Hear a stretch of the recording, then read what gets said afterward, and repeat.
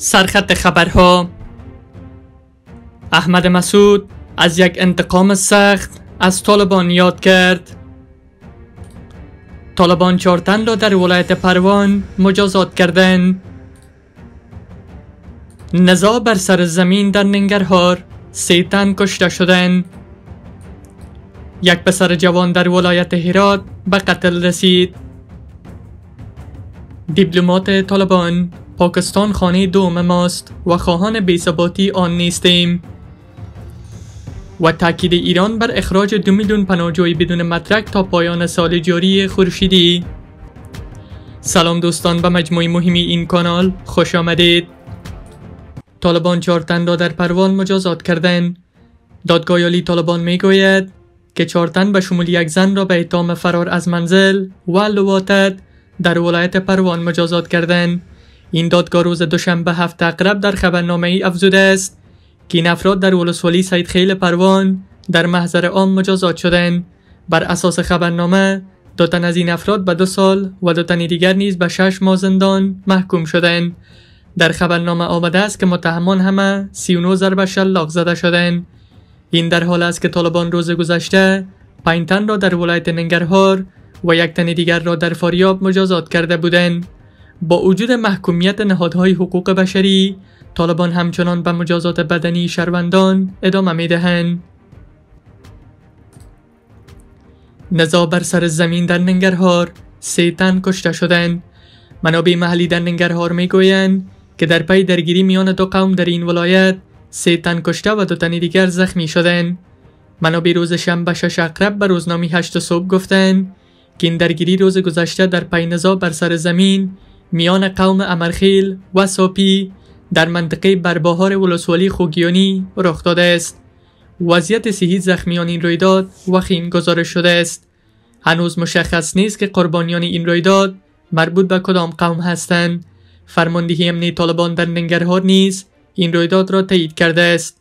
به گفته طالبان جنگجویان این گروه شمار از افراد را به اتهام دست داشتن در این درگیری بازداشت کردند. چند ماه پیش هم در پی درگیری دو خانواده بر سر زمین در ولسوالی پتیکوت ننگرهار یک تن جان باخته بودند. گفتنی است که نزا بر سر زمین میان خانواده ها و اقوام در نقاط مختلف کشور افزایش یافته است. هفته گذشته نیز یک مرد در قندهار برادرش را در پی نزا بر سر زمین با ضربات چاقو به قتل رسانده بود. یک پسر جوان در هرات به قتل رسید. منابع محلی در هرات می گویند که یک پسر جوان در این ولایت با ضربات چاقو به قتل رسیده است. منابع روز سه شنبه هشت اقرب به روزنامه هشت صبح تایید کردند که این پسر جوان حدود چهار روز پیش ناپدید و جسد او روز گذشته از روستای سوگرد ولسوالی گذری هرات یافت شده است. به گفته منابع این پسر رشید نام داشت و 25 ساله بود. انگیزه و عاملان این قتل مشخص نشده است.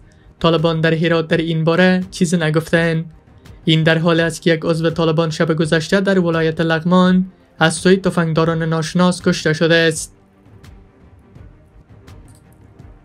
دیپلمات طالبان پاکستان خانه دوم ماست و خواهان بیثباتی آن نیستیم. سردار احمد شکیب کاردار طالبان در سفارت افغانستان در اسلام آباد می گوید که پاکستان خانه دوم اعضای این گروه است و امکان ندارد طالبان از خشونت ها در پاکستان و تروریست ها در آن کشور حمایت کند. آقای شکیب این سخنان را امروز به هشت اقرب در سیمینار تقویت روابط اقتصادی پاکستان و افغانستان و آسیای مرکزی که توسط موسسه مطالعات منطقه‌ای RAS در اسلام آباد برگزار شده بود بیان کرده و تاکید کرده که برخی عناصر ممکن است وارد پاکستان شوند اما طالبان اجازه نمی‌دهند ترورست ها از خاک افغانستان علیه دیگر کشورها استفاده کنند. او افزوده است پاکستان خانه دوم ماست و ما خواهان بیثباتی در این کشور نیستیم. این دیپلمات طالبان تصریح کرده که نامنی در پاکستان بر سر افغانستان و کل منطقه تاثیر منفی دارد و افغانستان هرگز خواهان جنگ در همسایگی خود نیست. او گفته طالبان یک سیاست اقتصادی را دنبال می کند و به دنبال گرده هم آوردن کل منطقه است. او افزوده است طبق موضوع ما دولت ما اجازه استفاده از خاک افغانستان را علیه پاکستان و دیگران نمی دهد.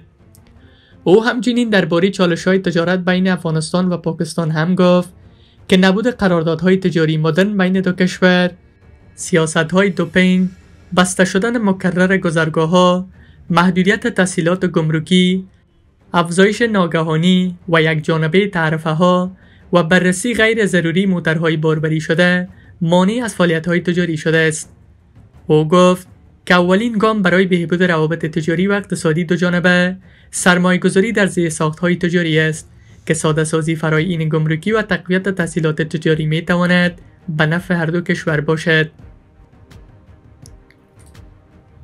احمد مسعود از انتقام در برابر طالبان سخن گفت احمد مسعود انتقام بیحرمتی طالبان به زنان را می‌گیریم. به دنبال انتشار گزارش از سوی سازمان ملل مبنی بر تجاوز جنسی طالبان به زنان زندانی جبهه مقامت ملی افغانستان می‌گوید که انتقام بیحرمتی طالبان به زنان را خواهد گرفت. این جبهه روز سه شنبه هشت اقرب در اعلامیه از مستندسازی جنایات طالبان توسط ریچارد بنت گزارشگر ویژه شورای حقوق بشر سازمان ملل در امور افغانستان استقبال کرده است. این جبهه افزوده است که تعرض طالبان به زنان یادآور جنایت علیه بشریت است و تاریخ جنایت این گروه را فراموش نخواهد کرد. در اعلامی این جبهه آمده است طالبان به تعرض به حریم و ناموس ملت ما باری دیگر اثبات می کند که نمایندی دین اسلام ورزش های ملی و مردمی ما نیستند. این جبهه ضد طالبان تاکید کرده که هرچند جهان با طالبان سیاست دلجویانه را در پیش گرفته اما گزارش های ریچارد بنت از وضعیت حقوق بشر در افغانستان بیانگر ماهیت این گروه است سازمان ملل در گزارش تازه‌ای گفته است که طالبان به زنان در بازداشتگاه های خود تجاوز جنسی کردند. تاکید ایران بر اخراج دو میلیون پناهجوی بدون مدرک تا پایان سال جاری خورشیدی احمد رضا رادان فرمانده کل نیروهای انتظامی ایران بار دیگر تاکید کرده است که این کشور تا پایان سال جاری خورشیدی دو میلیون پناهجوی بدون مدرک اقامت را بیرون می کند. او در گفتگو با خبرگزاری تصنیم که روز دوشنبه هفت اقرب نشر شده گفته که ایران تا اکنون 850 هزار پناهجوی بدون مدرک را اخراج کرده است. هرچند این مقام امنیتی ایران از هیچ کشور نام نبرده اما بیشتر پناهجویان اخراج شده افغان ها هستند. و ای افزوده است نمی‌توان اجازه داد که دی به صورت غیر قانونی وارد کشور و ساکن و مشغول به کار شوند. ادبای غیر مجاز به هیچ عنوان نمی‌توانند فرصت شغلی برای خود پیدا کنند و ساکن یابند. به باور فرمانده کل نیروهای انتظامی ایران اخراج پناهجویان بدون مدرک بر کاهش جرایم در این کشور تاثیر خواهد گذاشت. گفتنی است ایران میزبان 4.5 میلیون پناهجوی افغان است. سپاس که تا این با ما بودید. تا ویدیوی دیگر بدرود.